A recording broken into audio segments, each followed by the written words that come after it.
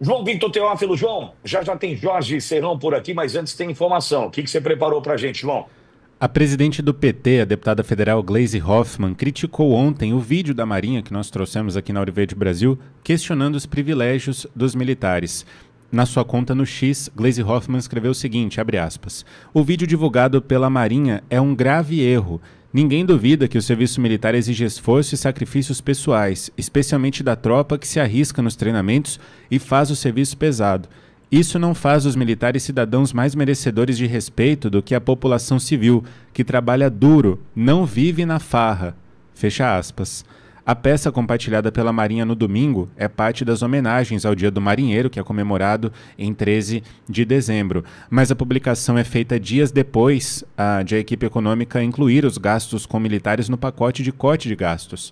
O vídeo mescla imagens de marinheiros e fuzileiros trabalhando em situações extremas, com civis se divertindo em momentos de lazer e reuniões de família.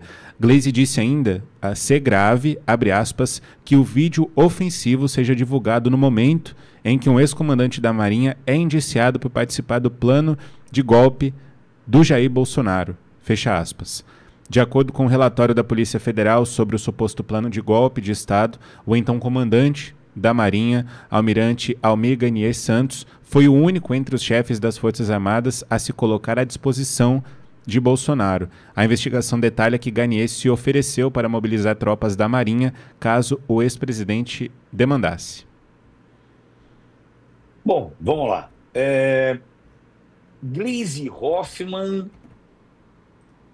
Qual é a qualificação dessa senhora? Né? Eu estou falando do ponto de vista da planilha do Odebrecht, como é que era mesmo o apelido? Você se lembra aí? Não vou nem dizer porque ela é louquinha para mandar uns, uns processinhos, umas indenizaçõezinhas, né? A justiça muitas vezes está do lado dessa turminha, né? Se a gente for lembrar da planilha da Odebrecht, vai ficar fácil da gente entender né, a, a qualidade moral dessa senhora para poder falar sobre esse tema. Eu, João, eu tempos atrás, até já já vai ter um querido aqui conosco do Exército Brasileiro, o Coronel Gerson Gomes, pessoa que eu tenho absoluto respeito, mas eu disse aqui tempos atrás, e olha, não estou na tropa, eu não estou, não faço parte das Forças Armadas, nunca fiz, né? não, não consegui servir por excesso de contingência naquele momento, enfim, eu já trabalhava na rádio, então é, o meu destino passou longe né, disso aí.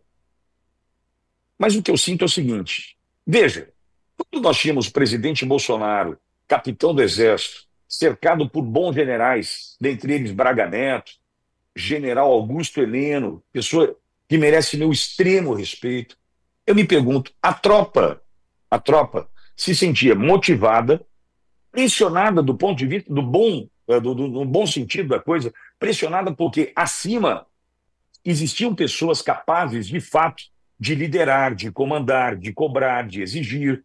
Eu vejo isso aí como um ponto bastante positivo, mesmo porque entendo eu que se eu tenho alguém me comandando que pode me fazer uma pessoa melhor, ponto para mim. Ponto para mim, ponto para o meu futuro, ponto para a minha carreira, ponto para mim. Agora, quando a gente olha o PT no comando das Forças Armadas, quando a gente olha a Gleisi Hoffmann comentando questões envolvendo Forças Armadas, tenho tudo para que crer que essa tropa hoje não é mais a mesma. Essa tropa que, na, na, nessa caserna, se, se mostra incomodada há bastante tempo. Se é que você me entende, eu não posso falar de prazo, senão pode parecer que eu estou incitando, e não estou. Não estou, é só uma constatação. Quem conhece o dia a dia da tropa sabe do que eu estou dizendo, do incômodo que trouxe tudo que nós vivemos recentemente. Então, veja, aí vem essa tropa Vem a Marinha, por exemplo, que faz um vídeo brilhante e que eu disse aqui ontem na Auriverde.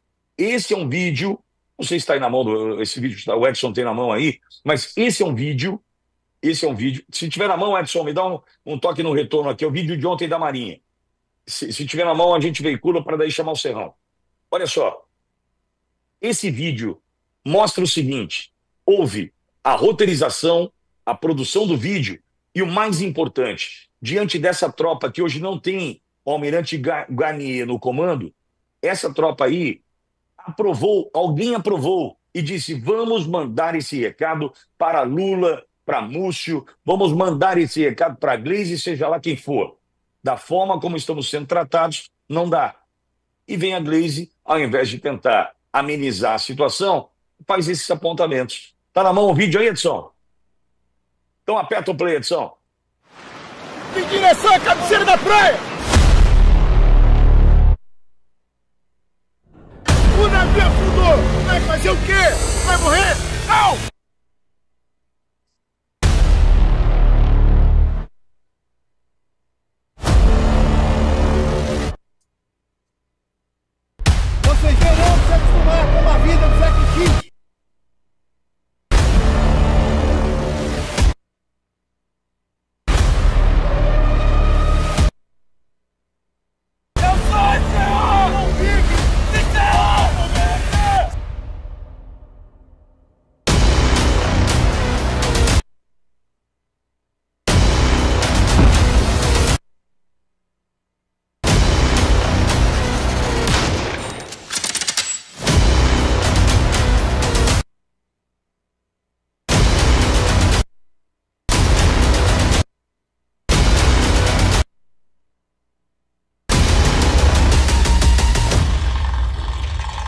Privilégio?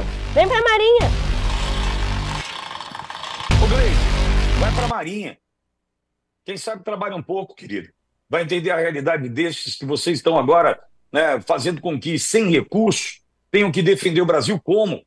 Vai lá.